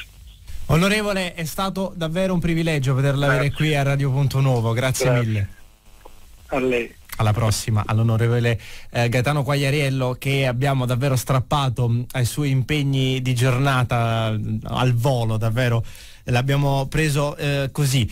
Tra uh, due minuti invece torniamo a parlare di Napoli perché questa è una settimana importante tra Glasgow, Milano, lo anticipavamo prima anche con Ciccio Marolda, continuiamo ad approfondire tutti i temi tra 120 secondi. Che riparte quando sono le 14 e 22, eh, ancora lo speciale Napoli di Punto Nuovo Sport Show con Alessandro Montano, con Giovanni Annunziata, con i vostri commenti al nostro uh, gruppo Facebook uh, ancora. In molti ieri mh, mm, anzi l'altro ieri non siete rimasti convintissimi da quella che è stata anche eh, la, mm, la, formazione, lo anticipava prima anche Ciccio Marolda, ancora Cristiano, prendetevi tre punti senza criticare sempre e comunque, spesso anche senza fondamento e ancora c'è chi posta l'immagine di eh, Raspadori come Carmine Buda massacrato da tutti per 90 minuti, io per primo, poi zittisce il pubblico, io dico che questo ragazzo sarà il futuro del Napoli, vedremo. Eh, ne parliamo con il direttore del Napolista Massimiliano Gallo. Ciao Max, come stai? Buongiorno. Ciao, buongiorno a tutti. Uh, Max uh, Raspadori, massacrato forse tra i migliori, uh, tra i peggiori in campo, pardon, fino al momento del gol, poi anche la rete che un po' gli sgrava la tanta pressione che si era posizionata sulle spalle di questo giovane ragazzo titolare ancora con le stigmate dell'erede di Mertens c'è una narrazione che rischia un po' di bloccare Giacomo Raspadori, va lasciato tranquillo eh, come ragazzo e non sempre para- mm, anche paragonato a quello che era il passato del Napoli? Allora, guarda, eh, va lasciato tranquillo, queste... allora, i calciatori, ma questo vale anche per gli allenatori, guadagnano soldi, tanti soldi cioè quasi in maniera vergognosa se volessimo usare un linguaggio eh, vetero-comunista. Quindi non, possono, possono essere lasciati tranquilli. Vengono pagati tanti soldi e quindi devono accettare il gioco delle responsabilità. E anche il gioco del pollice verso, pollice su, questo vale per i giocatori come vale per, per gli allenatori. Secondo me Raspadori non c'entra quasi niente con Mertens Aspadori eh, per me è un calciatore d'area di rigore, è uno che il meglio lo dà nell'area di rigore, eh, poi gli piace anche l'1-2, però questa, uh, questo volerlo uh, mm, trasformare in una sorta di centravanti arretrato, di numero 10, secondo me è sbagliato. Lui è forte lì come ha dimostrato poi anche con, con il gol, che è un gol che sembra semplice ma in realtà non è, eh, non è così semplice. Poi secondo me non è stato massacrato. Insomma, non ha giocato male quella partita, ma alla fine della partita poi anche, eh, ha anche segnato. Cioè, non ricordo, anzi, non ricordo che il suo acquisto tra l'altro il Napoli lo ha pagato decisamente più del suo valore, almeno in questo momento, certo non è un calciatore che vale 35 milioni, fu salutato con grande, insomma, quasi un'ovazione da parte dei, dei tifosi del Napoli, quindi francamente non l'ho, non l'ho mai visto massacrato dai tifosi.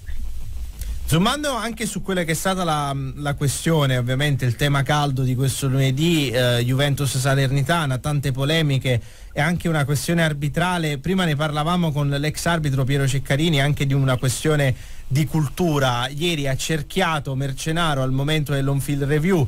Ci sono delle immagini che dimostrano che Candreva è oggettivamente eh, molto in linea con Bonucci, anche se stanno spuntando nuovi, nuovi fotogrammi. Ci, si può parlare di fuorigioco gate arrivati già al 12 settembre?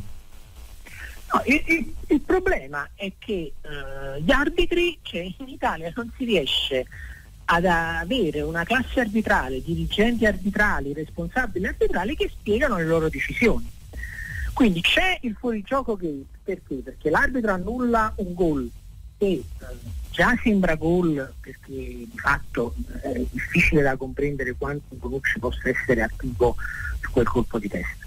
Poi spuntano, si, si si immagina, si percepisce, si capisce da tutto il lavoro che ha fatto dalla denuncia diciamo, di Sky e di, di Caressa ieri sera che il VAR non avrebbe tenuto in conto la posizione di Candreva, ma ora sono passate 12 ore, come hai detto tu, si alternano su, sul web eh, immagini di diverso tipo con linee tracciate diversamente, dovrebbe eh, qualcuno della classe arbitrale dovrebbe dire allora le immagini sono queste.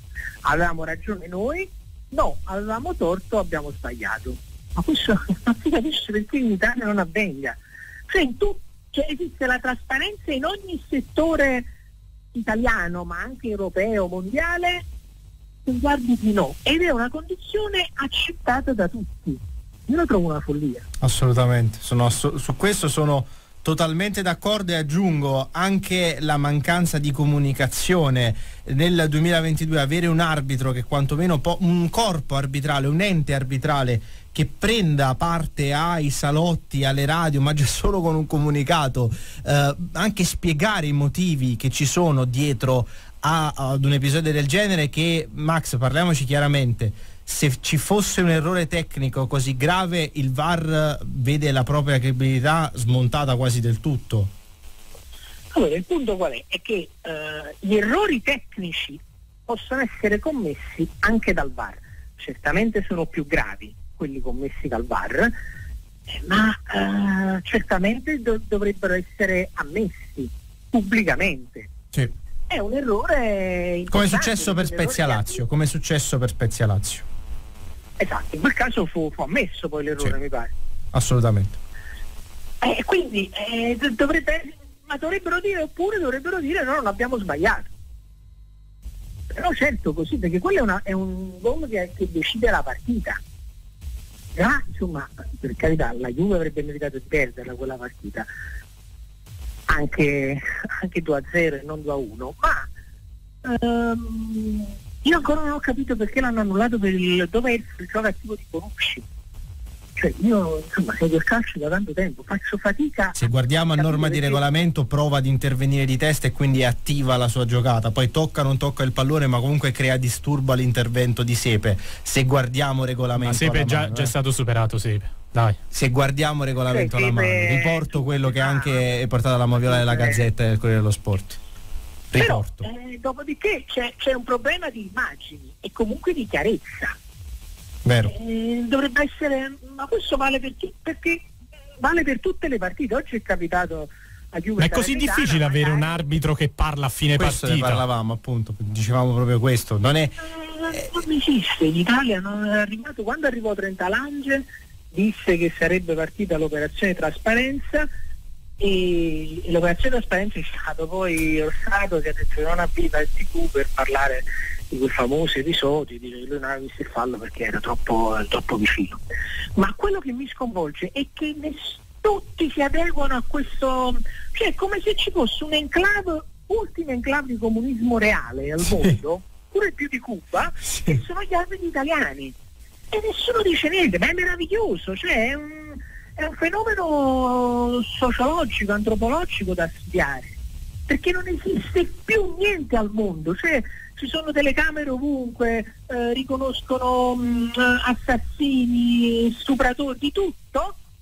Oh, gli arbitri niente, sono, decidono loro, vivono in una roccaforte inattaccabili, inespugnabili.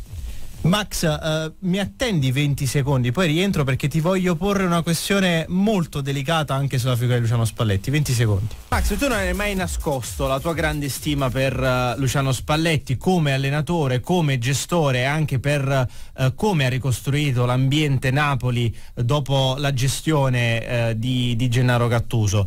Nelle conferenze stampa però, sia post Liverpool, soprattutto post Spezia, il tecnico qualche sassolino dalla scarpa se l'è tolto. È chiaro, ha fatto il giro del web, anche la polemica con un noto giornalista eh, di Napoli per quanto riguarda eh, la questione dello spogliatoio, il litigio.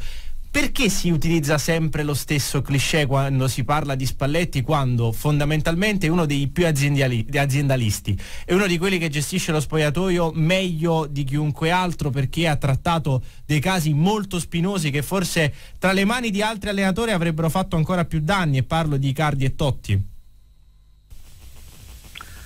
Allora guarda, io eh, certamente ho sempre difeso il lavoro di Spalletti e ritengo che Spalletti abbia ragione su, su tanti aspetti. Però devo anche dire che io non, non comprendo questo, a parte la polemica diciamo col, col giornalista sul fatto in sé, no, no, no, non ci entro, però su altri aspetti io non capisco il nervosismo di Spalletti, c'è un nervosismo e un'agitazione eh, che francamente mi risulta stonata rispetto al fatto che Napoli è prima in classifica, che in Champions ha giocato una partita e l'ha vinta 4-1 contro il Liverpool, che lui ha una squadra molto forte ed è molto agitato e va a tirare, cioè lui certamente non ha eh, digerito la contestazione dell'anno scorso e le polemiche dello scorso anno. Per me ha anche ragione, perché lo scorso anno è certamente una stagione molto positive in cui lui merita 8, 8 e mezzo, ma anche 9. No, dopodiché non è che ci può tornare ogni volta. Addirittura è tornato su Napoli-Barcellona 2 a 4 partita di cui io credo tutti insomma, si fossero persino dimenticati. Per dire che i principi di gioco erano gli stessi e che lui fu criticato e con Liverpool no. Ma ragazzi, lì ha perso 4 a 2, a parte che la partita non fu affatto la stessa, ma il risultato fa tutta la differenza del mondo. Così come sul turnover, lui ha ragione, cioè le polemiche sul turnover sono polemiche eh, insulse secondo me, che non hanno ragione d'essere, addirittura lui poi ha tirato in mezzo anche, anche De Laurenti. Però l'uno come Spalletti, che sta nel calcio da 30 anni, come fa a non sapere che il turnover è foriero di polemiche? Cioè, quello che mi colpisce è che lui è troppo agitato magari lui io l'ho paragonato come McEnroe, McEnroe era un grande tennista che giocava sempre contro mille avversari, non solo quello che era di fronte, litigava con l'arbitro, litigava con se stesso, litigava con gli spettatori, litigava con i fotografi, perse la finale di Parigi perché litigò con un cameraman. Sì. Però mh, mm, insomma mh, quello che mi colpisce, cioè lui dovrebbe godersi questo momento. Perché è un momento importante. Su una cosa non sono d'accordo con Spalletti, solo su una, perché Spalletti ha fatto un po' capire con alcune sue affermazioni che questa squadra, questa rosa, fosse inferiore a quella dell'anno scorso. Secondo me non è vero. Questo è l'unico punto su cui io non sono d'accordo con, con Spalletti e lo sta anche dimostrando. E secondo me è anche una rosa che finalmente, cioè persone giovani che non hanno il passato, non sono, sono stati dieci anni nel Napoli, non sanno quasi nulla di Napoli, non hanno perso partite importanti, sono, è una squadra sfrontata, leggera, quindi se la dovrebbe godere perché lui ha, ha un grande materiale a disposizione ed è un grande allenatore. È troppo nervoso, secondo me in, in larga parte immotivatamente. Max, grazie mille davvero per essere stato con noi a Radio Punto Nuovo. Grazie a voi. Alla prossima con Massimiliano Gallo, direttore del Napolista. Intanto eh, sull'account ufficiale del, di, della Lega Serie A su Twitter compare ormai una Baraschelia maniac, Baravaggio. Possiamo dire che il nuovo, vi piace come, come nuovo soprannome anche del Giorgiano. Sono molti tifosi, anche molti giornalisti che provano Baradona. Noi prendiamo le distanze. Vabbè, lì da, si scherza. lì si scherza, assolutamente. Prendiamo le distanze.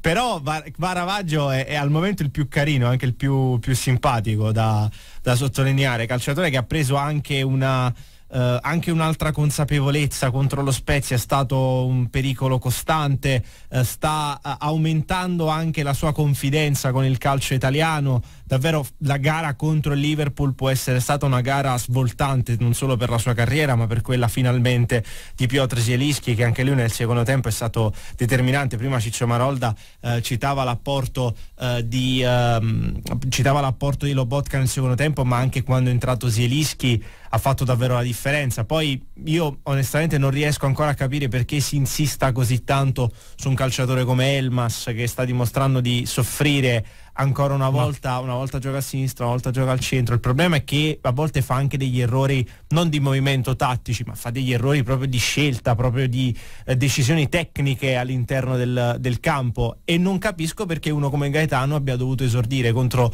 lo Spezia soltanto alla sesta giornata di campionato. Ricordiamo ma la forse qualifica. sarà il nome? Sarà il nome straniero, gli italiani è sempre più difficile. Io, io... Se la Cremonese sta in Serie A, questa Cremonese esatto. è merito anche e soprattutto di Gaetano. Assolutamente, cioè. assolutamente, ha fatto una grande stagione lo scorso anno e di Elmas ricordo in maniera importante un, un episodio dell'ultima partita contro, contro, lo Spezia di una palla persa su uno scarico di Kvaraschelia a centrocampo sì. con, con Elmas che, che si aspettava non si sa chi alle sue spalle Spalletti lo ha richiamato fortemente perché gli ha detto ci devi essere tu sullo scarico de- dell'esterno di Kvaraschelia. Gliel'ha urlato però. Gliel'ha urlato, Sembrava un'arpia, non so se ma, va, ma è anche giusto così. È sì, giusto giustissimo. Così. E Elmas ha anche fatto qualcosa di interessante ad inizio partita, quelle, quelle incursioni, quegli inserimenti, eh, anche partendo da sinistra, però è troppo poco. Non basta questo per per giocare ed essere titolare in questo Napoli perché Elmas è già la seconda partita titolare. Ok che ha segnato contro il Lecce, però deve fare molto di più, non può avere una, una fiammata in...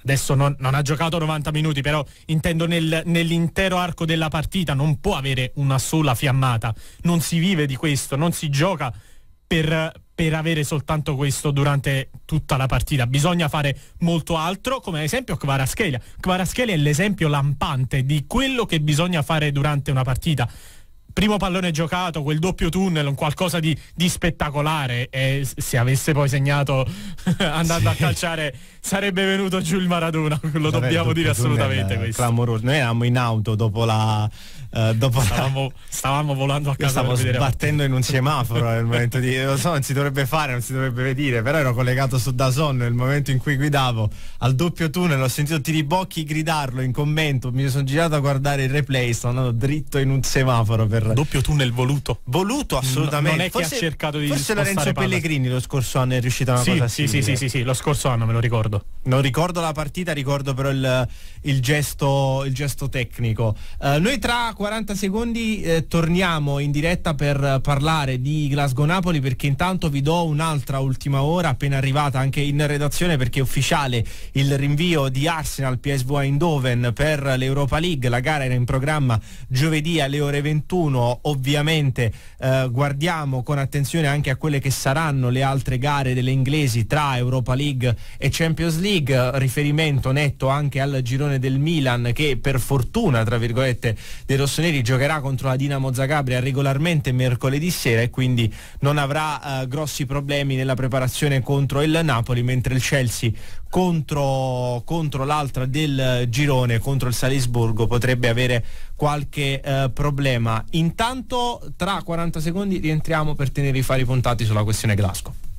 Un po' dei vostri commenti sia al 380 127 2000 sia al gruppo Facebook Michele Ciavarella al quale io continuerò a chiedere scusa all'infinito per aver fatto delle ironie sul suo messaggio sul fatto che il centrocampo del Napoli potesse essere il famoso, il famoso, famoso messaggio. messaggio. Ce lo porteremo fino alla fine di questa stagione. Gli chiederò scusa fino al 30 di giugno per uh, aver, tra virgolette, fatto ironie sul, uh, sul, suo vedere il centrocampo del Napoli più forte di quello del Liverpool. Abbiamo vinto una partita brutta e sporca, ma meglio un calcio oggi brutto che l'anticalcio visto dallo Spezia. Raspadori, quando un episodio ti porta dalle stalle alle stelle. Poi Fabio Pacifico, scusate non sono d'accordo, lo Spezia ha comunque fatto una gara e un risultato onorevole, Michele D'Angiola in queste partite contano solo i tre punti e ancora eh, tanti commenti, molti non siete contenti, ma come potreste d'altronde della partita eh, di Ndombele che dopo 45 minuti è stato anche tra virgolette bocciato, vogliamo utilizzare un termine forte, semplicemente non è ancora in condizione. Eh, bisogna avere un po' di pazienza, un calciatore che ha anche una struttura fisica eh, particolare, mm, molti state anche accostando il nome di Bakayoko, però sono due calciatori diversi eh, e secondo me su Ndombele Giovanni si rischia di creare anche un inequivoco tattico. Ndombele se deve sostituire qualcuno è più affine alla sostituzione di Zielischi che alla sostituzione di un Anguissà, sì. addirittura, addirittura di Lobotka, lì sarebbe sparare sulla Croce Rossa. Sì, Ndombele è una, è una mezzala, è un giocatore di inserimento, non è uno che deve impostare l'azione oppure uno che deve rompere il gioco. Um, io personalmente eh, è chiaro che non, che non, ha giocato bene contro, eh, contro lo Spezia, però l'ho trovato già meglio rispetto alla partita contro il Lecce è cresciuto un po' eh, sotto il punto di vista atletico, eh, si è fatto vedere di più, eh, è riuscito a lottare su qualche pallone in più, a proporsi un minimo in più eh, in avanti, ha fatto qualche passo, qualche passo in più, questo, questo lo dobbiamo riconoscere. Se la, nella partita contro il Lecce eh, ha giocato da 4,5-5 contro lo Spezia siamo arrivati al 5,5 deve iniziare a raggiungere adesso la sufficienza per poi diventare importante nel corso della stagione per, per Spalletti, per i compagni, per tutti quanti. La stagione è molto lunga. Mm, servirà soprattutto ne, nei mesi caldi. In questo momento il Napoli, per fortuna, non, con tutti gli scongiuri del momento, chiaramente lo, lo, vengo a dire, per fortuna il Napoli sta messo abbastanza bene con, con quei tre che funzionano, che stanno bene, che giocano bene e quindi in Dombele al momento deve soltanto pensare a, a crescere a, di, di, condizione soprattutto e anche a livello mentale. Anche a livello mentale perché è un calciatore che ha delle doti molto molto importanti eh, dal punto di vista tecnico, lui è una mezzala ma anche con, con una predisposizione certamente all'offendere che al difendere, questo va assolutamente sottolineato, quindi non creiamo equivoci su un calciatore che comunque è sotto la luce del sole chiara che eh, ha delle difficoltà dal punto di vista della preparazione atletica, della condizione fisica, quindi va anche un attimo aspettato. Cerchiamo di capire oggettivamente poi se eh, nelle prossime settimane riuscirà anche a dare una sterzata al proprio cammino con gli azzurri. Noi eh, tra un po' andremo a, in Inghilterra perché c'è qualcuno che è rimasto tra virgolette lì nei pressi di, di, Glasgow, in realtà è rientrato a Londra, parleremo con Rosario dello Jacopo eh, del Napolegno che aveva eh, ormai organizzato tutto per una trasferta anche molto bella. Mm, parliamo comunque di uno dei campi, parliamo uno dei, dei, anche delle città dove il calcio ha un sapore eh, particolare, ma eh, tra Liverpool, Amsterdam, la stessa Glasgow. Rosario, buongiorno. Eh, è un peccato perdersi trasferte del genere perché sono campi, sono squadre, sono ambienti dove il calcio ha un sapore, un odore, una storia diversa. Buongiorno. Eh, ragazzi, buon pomeriggio a voi e agli ascoltatori. Ovviamente sì, perché Ibrox è comunque uno dei, degli stadi leggendari comunque del calcio mondiale e tra l'altro diciamo espressione eh, di quella parte di Glasgow protestante, anglicana, diciamo molto molto nemica del Celtic che invece diciamo gode del tifo di buona parte degli, irlandesi che non siano unionisti, cioè delle tematiche che sono anche difficili da cogliere per noi perché chiaramente abbiamo un background storico differente, però posso assicurarvi che noi 600 circa che avremmo dovuto essere lì ce la saremmo goduta perché Ibrox è uno degli stati dove andare come Celtic Park allo stesso modo eh, però che, che, che, possiamo fare? Purtroppo tra l'altro io sono atterrato ieri a Londra eh, andrò poi domenica a Milano per Milan-Napoli e resterò una settimana così comunque qui a Londra inutilmente poi alla fine Rosario, comunque c'è un po, di, un po' di rabbia, un po' di nervosismo per quello che è successo, ma um, tra te e altri tifosi avete già iniziato a chiedere qualche modo, qualche tipo di rimborso, non so, anche eventualmente morale per, per quello che è successo? Allora, guarda, io credo che eh, sia fondamentalmente giusto comunque chiedere un rimborso perché questa decisione comunque è arrivata due giorni prima, comunque per dei motivi non strettamente legati alla gara, ma ad una serie di circostanze che veramente ragazzi non per fare vittimismo ma capitano solo a noi tifosi del Napoli cioè, la morte della regina dopo 70 anni la regina muore in Scozia la calma si trova ad Edimburgo Edimburgo e Glasgow sono le due città più grandi comunque della Scozia sono abbastanza vicine l'una all'altra, quindi la necessità da parte della polizia scozzese di spostare buona parte diciamo, del suo organico ad Edimburgo. Ieri per dirvene una c'erano due milioni di persone ad Edimburgo, cioè per darvi un'idea dell'enormità no? diciamo, eh, di, quello, di quello che succede. Quindi non ne faccio un discorso personale perché io comunque risiedevo, negli ultimi tre anni ho vissuto a Londra, risiedevo qui, ho ancora la residenza legale qui in Inghilterra perché sono un attimo in un momento di ripensamento, capire se voglio restare in Italia o tornare qui. Eh, e quindi in qualche modo per me è una sorta di ritorno a casa, no? però conosco tanti amici che facevano itinerari folli, diciamo, dal più semplice autobus alle 4 di mattina a Napoli per arrivare a Roma e poi fare Roma-Glasgow a scali nell'est europeo, per cui c'è gente che ha speso anche davvero 300-400 euro, perché poi a fine partita per chi non partì, per chi non aveva l'aereo da Glasgow era letteralmente impossibile praticamente arrivare ad Edimburgo a sì. meno che non prendere un Uber, un taxi, eh, comunque parliamo di due città che comunque non sono non sono molto distanti ma non sono nemmeno Napoli Caserta. Assolutamente. Assolutamente. Immagino che vi state anche attivando. Noi prima avevamo l'onorevole eh, Gaetano Quagliariello, club parlamentare Napoli, ci diceva che stavano interpellando anche le tante autorità eh, diplomatiche sul territorio e sul suolo britannico per aiutare eh, chi magari come, come te ha vissuto, di, ha vissuto, la stessa disavventura. Anche il Codacons attraverso molti media qui a Napoli sta cercando di far capire che ci sono comunque delle modalità di rimborso, modalità che qualcuno al momento ti ha già paventato oppure si brancola ancora nel buio buio?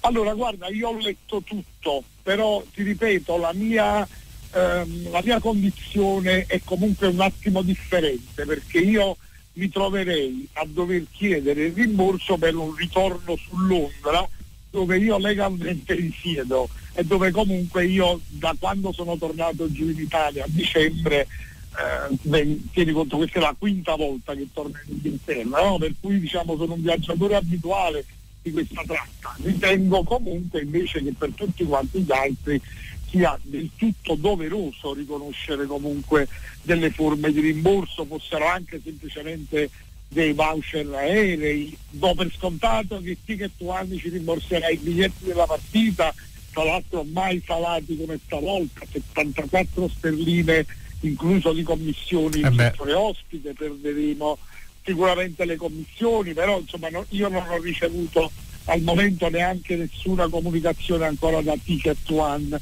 per la restrizione dei soldi del biglietto. Per tutte le altre spese ragazzi io lo ritengo doveroso e se qualcuno di quelli che, stanno, che sono ora in ascolto fanno parte degli sfortunati 600 di Glasgow, il mio consiglio comunque è di procedere in azioni legali. Tra l'altro la mia pagina, laddove si dovesse sviluppare certo, ricordiamolo, eh, ricordiamo. tipo, eh, sì, sì, Napoli sicuramente noi, la Napoli bene, daremo sicuramente tutta, tutto il supporto e tutte le informazioni eh, Assolutamente. diciamo, per poter aderire. Io non la farò, siccome sono una persona franca diciamo, non lo ritengo opportuno anche perché... Rosario, ma ti aspetti una mano anche dal Napoli, un'iniziativa, un qualcosa che eh, se non è un rimborso no, vero e proprio, un regalino, un'attenzione ai 600 di Glasgow? Ragazzi, sinceramente no, cioè nel senso se la, la SSC Napoli, Aurelio De Laurentiis dovessero stupirmi, sarò ben contento di riconoscerlo come faccio ogni volta che accade qualcosa che secondo me va sottolineata in positivo. Per esempio pensiamo ai tifosi della Roma che pur avevano assistito alla disfatta in Norvegia, eh, alla disfatta europea dell'Ospan in Norvegia, ai quali è stato regalato il biglietto per la finale di Tirana. No? Noi non ci siamo neanche riusciti ad andare praticamente a Glasgow, abbiamo speso dei soldi, per cui sarebbe fantastico se per esempio il Napoli ci riconoscesse questi biglietti per la prossima, la prossima trasferta di Champions in Europa, ovvero ce li tramutasse in biglietti per la partita con l'Ajax. Tra l'altro eh, a differenza dei tifosi della Roma in Norvegia, noi non abbiamo neanche usufruito di questi biglietti, per cui ci devono essere già rimborsati. Poi francamente ragazzi Napoli io non, eh, diciamo, al di là di qualche piccolo segnale di management all'inglese di quest'estate di Laurentiis nelle varie dichiarazioni agostane, io non vedo diciamo, un club molto fan oriented, cioè che guarda ai tifosi comunque come un elemento centrale della propria strategia. Poi auguro di, mi auguro di sbagliarmi, e che quindi il Napoli ci sorprenda tutti e faccia qualcosa, ma la vedo la classica situazione di scaricabarile tra autorità scozzesi, britanniche, che poi c'è un Parlamento scozzese, c'è un Parlamento britannico, cioè, ci sono le autorità municipali, le autorità di polizia scozzesi, per cui è un tale macello di responsabilità che diventa anche difficile no? poi attribuire delle colpe. Certo sarebbe fantastico se il Napoli senza essere in qualche modo il colpevole no? di questa situazione, il responsabile, facesse un gesto, anche perché siamo 600, era la trasferta più complicata, non ci sono voli diretti Napoli-Glasgow, sarebbe un bellissimo segnale da parte del Napoli. Speriamo che arrivi. Io dubito eh ma sì. speriamo che arrivi. Speriamo bene speriamo bene. Rosario prima di salutarci come ti sembra questo Napoli rivoluzionato e che cosa ti aspetti dalla sfida contro i Rangers? Ragazzi, io sono francamente sorpreso.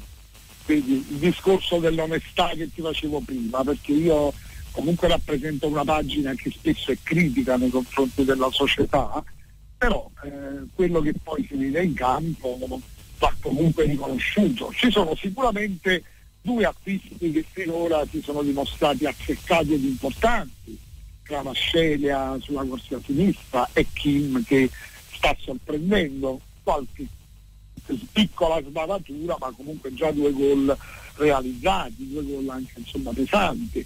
E quindi un Napoli che sorprende attendendo ancora Don Belé che mi sembra purtroppo ancora in ritardo di condizione e i due nuovi che comunque pur non avendo diciamo, giocato tantissimo con un minutaggio limitato hanno comunque pure loro marcato il tabellino in particolare la Spadorio ero allo stadio perché sono abbonato, ero allo stadio comunque in curva B nell'ultima partita e ragazzi ho visto proprio lo spettro delle due partite precedenti con lo Spezia, un pareggio che proprio non ci sarebbe voluto e per fortuna la Spadori ha avuto la determinazione e la freddezza di metterla nell'unico angolo dove la poteva infilare, perché quello sembra un gol facile, ma secondo me non lo è affatto.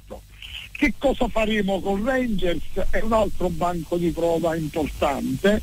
Eh, diciamo che Rangers ha esordito malissimo, no? ne ha presi quattro comunque ad Amsterdam nella prima, però è una di quelle squadre che solitamente comunque tra le mura amiche in casa è uno stadio caldo turna, cioè una squadra sì, molta garra, molta grinta, molta determinazione e onestamente più che il risultato della gara in sé, diciamo, io purtroppo sono scudetto centrico. Diciamo, Poi eh, per salutarci gara, davvero perché purtroppo ho soltanto 10 secondi ancora per, sì, per continuare, non, non dimentichiamo Rosario che questi sono finalisti in carica dell'Europa League. Eh?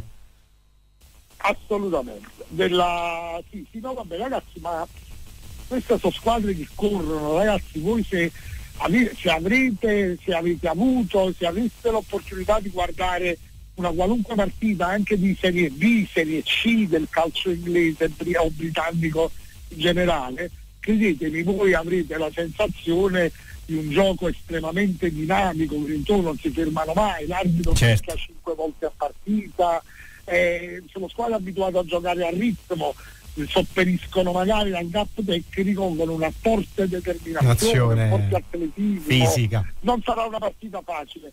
Napoli Assolutamente, non, non sarà una partita facile, perdonami, ma i tempi della radio sono, sono, tiranni, Rosario. Davvero, vai, 30 vai, secondi vai. prima dei saluti, grazie mille davvero. Alla prossima. Un abbraccio ragazzi a voi. Un abbraccio a Rosario Dello Jacopo, il Napolegno. 20 secondi soltanto per salutare Giovanni Annunziata. Ciao Giovanni. Ciao Alessandro, ciao a tutti, a domani. Noi eh, ci risentiamo domani puntuali alle ore 13 con il sottoscritto, con Giovanni, con Pietro De Concilis, con i vostri commenti, con quello che sarà lo sport e la vigilia eh, di eh, Glasgow Rangers Napoli. Tutto questo a partire domani dalle 13. Vi lascio la musica di Radio Punto Nuovo. Ciao.